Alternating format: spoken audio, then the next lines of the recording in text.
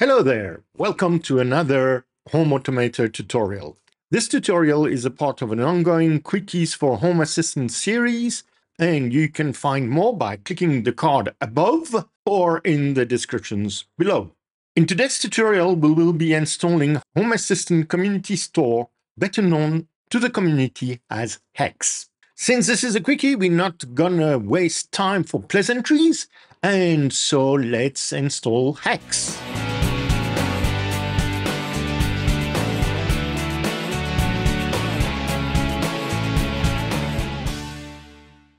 Before we start, all the code used on this channel, including this tutorial, is published on my GitHub page.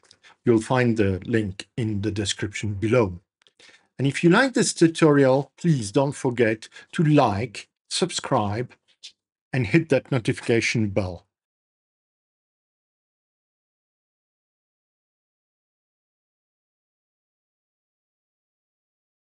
Before this tutorial, there are some required software that we need to have. Firstly, obviously, is going to be Home Assistant. Now, if you do not have Home Assistant, I have a tutorial that will be linked below for you to have a look on how to do so. The next one is the Advanced SSH and Terminal add-on.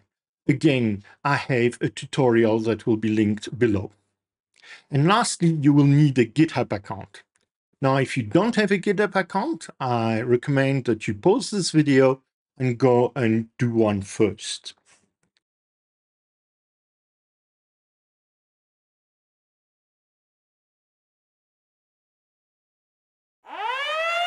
Before we start the installation of HACS, a disclaimer.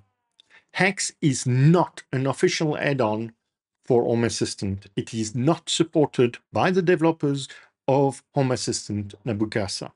You install HACS at your own risks. Having said that, I'm relatively careful of what I install on my machines, and HACS so far has not failed me. Besides, the code is always available for you to have a look at on GitHub. HACS is a community-driven integration and front-end component store that extends the Home Assistant ecosystem. So before you give up on integrating a new smart home device, and you cannot find that integration inside of Home Assistant, have a look at HACS. It might just have it for you. I will be using the HACS integration and front-end components in both my Home Assistant and ESP Home tutorials going forward. Let's move on to the installation.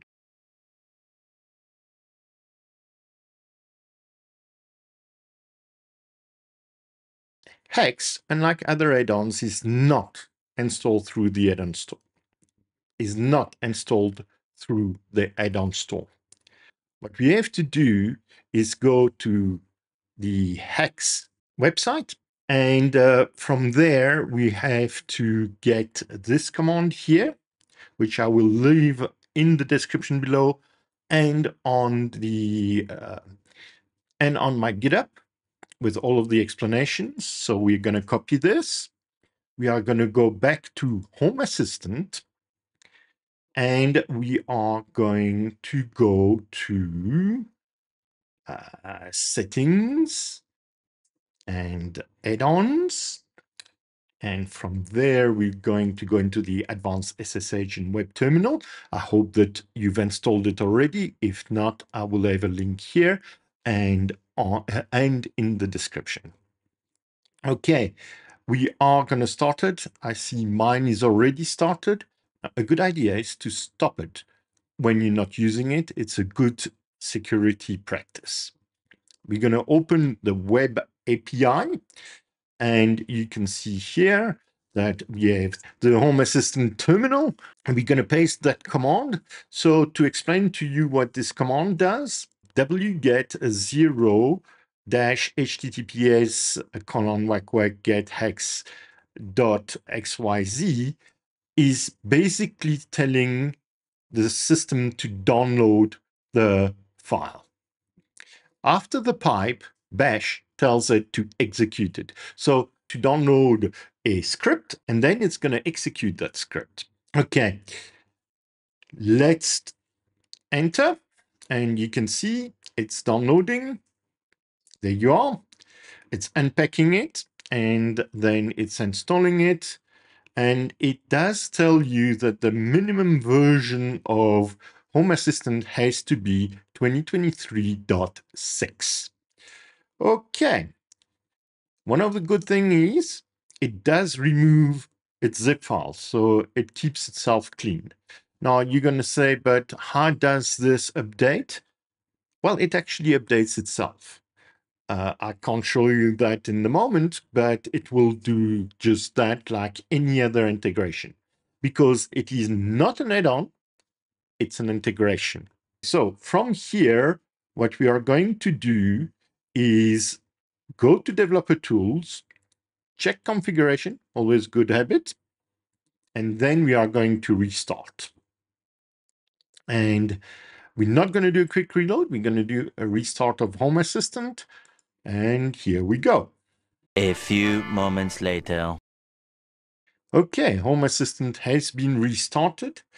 And what I usually do at this point in time, I restart a second time. Why do I do that? Because I've had some issues with HACS not being activated on the first restart. There we are. Now we can go to settings, device and services, and we are going to add an integration. The integration is going to be called HACS. As you can see, HACS is here. A nice thing about the new version of Home Assistant is that it actually tells you it's a custom integration. So what we're going to do is we're going to click on it and it's going to ask us a whole bunch of questions. You have to say yes to all of them and please read them. And if you agree with them, just click. Now, I am installing the experimental one simply because I've had no problems with it whatsoever. And it's changed things, so I'd rather not redo the video three or four times. Okay, let's submit it. At this point in time, I would have told you that you need a GitHub login. I hope that you went and did that because now we need it. So we are going to click on github.com login devices. And here it is. We have to go back, get the code, and input the code over here. And then continue. We have to authorize HACS. Done. And that's it. HACS is now activated on our Home Assistant and install. You may want to, as I often show, put uh, this into system because to me, it's part of the system. Click Finish. And uh, as a matter of good practice again, when we do install one of these, check configuration and restart. Restart, restart. Okay, I will now see you on the other side and show you a bit of how we go about adding some front-end elements and we'll talk about adding other integrations in other videos.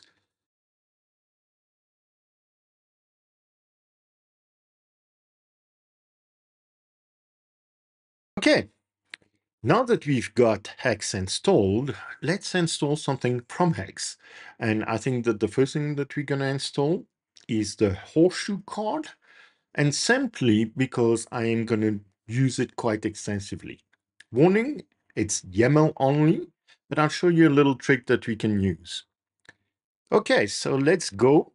We're going to go into HACS. And from here, we are going to go to the search bar and we are going to type horse. And here it is, flexible horseshoe card for Lovelace. We're going to click on it and we are going to download and again download. This will take a second to install. there we are. It is going to ask us to reload. Now that it is reloaded, one thing that I would highly recommend is that you go to the creator's GitHub. And here is the horseshoe card. Okay, and once you're here, click on the star. I mean, I've already done it, as you can see. It also tells the creator that you like what he's done. So I'm going to keep this instance open. And what we are going to do is we are going to find the entity that we are going to be using. Now, I know it's a weather entity. And let me show you why we will need that entity. Okay, we're going to go to the dashboard, edit, add a card, and we are going to go all the way down and click on manual. Now, this is YAML code. Let me show you why we need the entity. So I'm going to scroll down to here. I'm going to copy this code. By the way, here is the layout and how it works. And we're going to go back here and we are going to paste the code. Now you can see it says that the card type is not found, which is incorrect. And let me show you what we have to do. We have to actually take the dash space before it because had you put put this into one of the YAML files, and we will do that later, into Home Assistant, it would need the dash. Okay, so we're going to select everything to the bottom and tab one back. Once that is done, we have a bit of a problem here. It says weather dark sky, but I haven't got dark, dark sky installed. So what we're going to do is go to the settings, device and services, and open weather map, which is the one that I have installed and we're going to click on that. Two services. We're going to open one of the two services. It doesn't matter which one. We're going to go and scroll down to temperature. Click on temperature. Click on the range. And here you will see entity ID, which is what we require. And we are going to copy it. As you can see, it is now copied to the clipboard. After that, we can go back and close, go back to the code, and we are going to take this and we are going to put it in. Then we're going to change this because it is Johannesburg. It should show us by now a preview. However, it doesn't always work. But if I save it, there you are. This is what it looks like. Yes, it's a bit big. I agree with you. But we'll fix all of that later. So this is everything that you need to know about HACS and installing a UI component. You can also install various integrations. Some of them are not supported in the default installation of Home Assistant, and I will approach those at a later stage as well.